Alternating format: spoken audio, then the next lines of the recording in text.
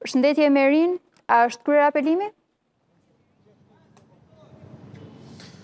Përshëndetje Leoneta, në fakt dita e nesërme do të jetë edhe dita e fundit kur përfaqësuesit ligjorë të 11 të arrestuarve në kuadër të operacionit i cili çoi në pranga 11 persona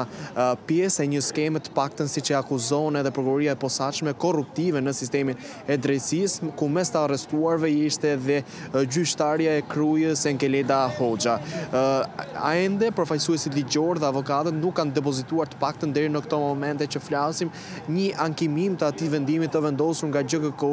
ditën e shtunë, dy ditë pas finalizimit të operacionit nga SPAK, ku përfaqësuesit ligjorë në cilësinë e mbrojtësve të personave të arrestuar do të ankimojnë vendimin dhe masën e sigurisë të caktuar atë të arrestit me burg. Duhet kujtuar se ka qenë një prej të personave i cili ka kundërshtuar që në hapat e para dhe që në fillim të vendosjes dhe caktimit të masës së sigurisë, ka qenë përfaqësuesi ligjor i gjyqtares Enkeleda Hoxha, avokati Visha, i cili ka thënë të paktën edhe në deklarimin për mediat se gjykimi dhe masa e caktuar nga trupa gjykuese e GJKKO është tepër e rëndë për sa kohë që ligji parashikon që të ketë një masë më të lehtë sidomos për personat në si në rastin e gjyqtares e cila është e divorcuar, ka dy fëmijë njëri prej të cilëve me aftësi të kufizuar dhe do duhet të kujdesej edhe për babain e saj i cili gjithashtu është i sëmurë. Po, Emerin, çfarë të reja ka edhe nga hetimi?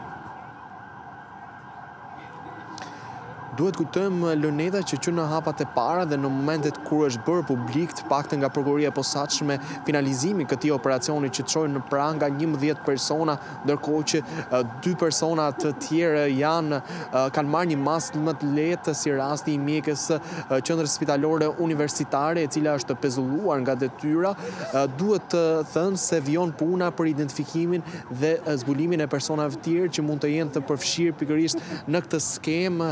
të cilën prokuroria e posaçme e ka quajtur si korrupsion në radhët e sistemit të drejtësisë. Fillimisht ishin 10 persona që ranë në pranga, ndërkohë që më pas, pas pezullimit, erdhi dhe arrestimi i mjekut Edvin Prifti, i cili nga kontrolli në banesë iu sekuestrua një shumë e konsiderueshme parash prej dyqind e pesëdhjetë mijë euro dhe njëqind e gjashtëdhjetë milionë lekë të vjetër dhe iu shtua akuza e pastrimit të parave, pikërisht ndalur tek mjeku kardiokirurg, SPAK, të paktën nga burime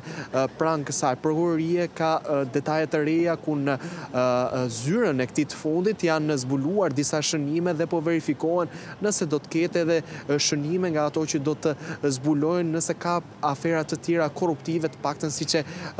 përshkruan SPAK edhe në njoftimin e parë ku u zbulua edhe përfshirja e mjekut Edvin Prifti i cili për hir të së vërtetës u identifikua rastësisht nga Kryesekretarja e Gjykatës së Krujës, ndërkohë që është mësuar edhe